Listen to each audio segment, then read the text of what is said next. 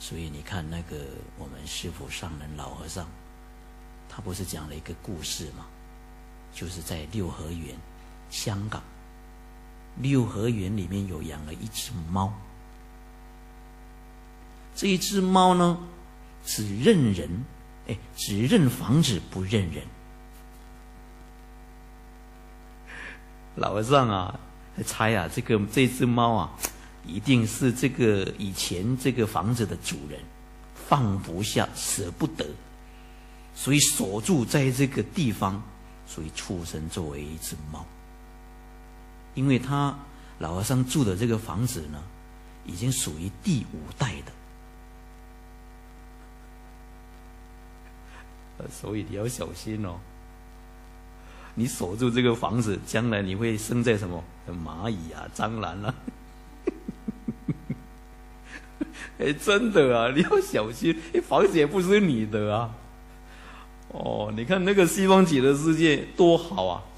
你房子要想要天空就天空，你不想住房子就不见了，根本都没有，很清净的。你看这个房子很麻烦。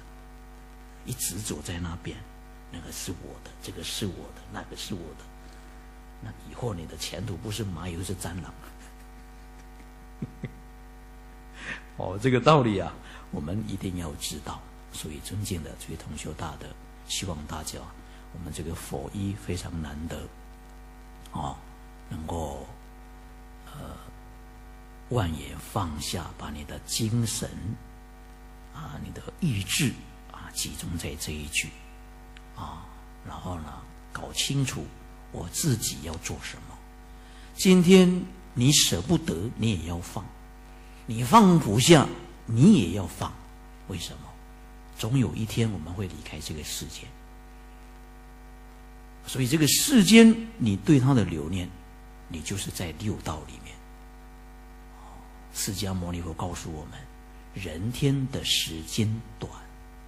三恶道的时间很长，所以大乘佛法里面告诉我们：人堕三途五千劫。这个你要明白这个道理呀。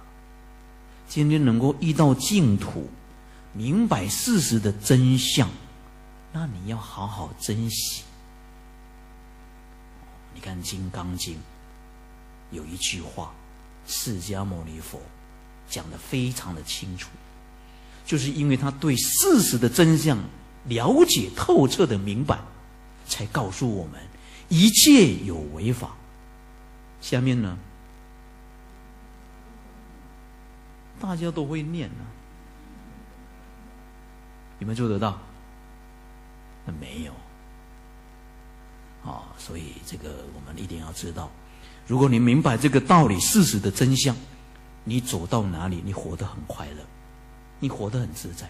人家怎么批评，怎么样骂你，怎么样侮辱，怎么样来回报，或者人家看到你，或者你看到不喜欢的、你讨厌的人，你就是过得很幸福的，过得很自在。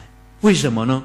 因为我心里面只有阿弥陀佛，因为我心里面只有想要了生死、出三界，我不是要跟他永远在一起的。我要找到一个解脱之路，谁也挡不了。只有自己的业障挡了自己的路，所以这个道理啊，我们好好认真努力用功啊！希望大家在这个佛意当中，我们一起啊，把我们的精神集中啊，集啊这个意志啊，集中在这一句阿弥陀佛。我相信啊，今天以八关斋戒，加上我们念佛，你的心呐会获得无量无边的功德。